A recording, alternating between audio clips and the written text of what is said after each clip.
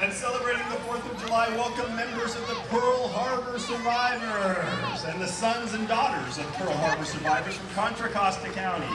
These brave men were at Pearl Harbor on, on, on surrounding military bases on, uh, on, on Oahu, Hawaii, when the Imperial Japanese Navy attacked on a quiet Sunday morning. It's a miracle that any of these men survived that fateful day on December 7, 1941. We will never forget the 2,400 servicemen and women who lost their lives that day. Today, the sons and daughters and grandchildren of these Pearl Harbor survivors proudly march in parades honoring these survivors. A nice standing ovation That's nice. That's really nice. Marching today is Mr. Mickey Greenwich. Greenwich. Sorry, Mickey. Mr. Mickey Greenwich. Also, we have Clarence Byal, John Matrice, Matrice, sorry, and Fred Ayers, who had an story. He was four years old, but on the base at the time it happened. So therefore, he's a Pearl Harbor survivor.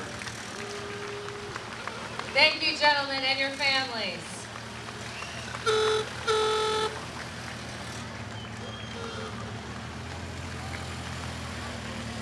Here comes the sons and daughters of Pearl Harbor survivors. By the way, also marching with the Pearl Harbor survivors, there's a lot of little kids from St. Francis Welcome to St. Francis of Assisi and the Concord 4th of July Parade.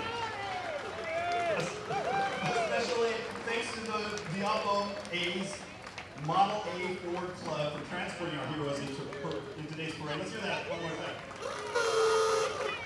There's that's a horn. Remember Pearl Harbor and keep America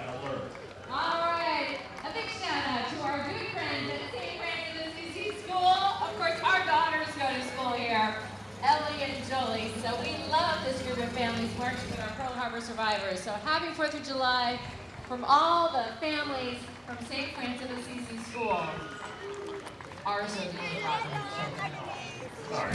All right, Diablo A's Model A Ford Club is a member of the Model A Ford Club of America, founded in 1968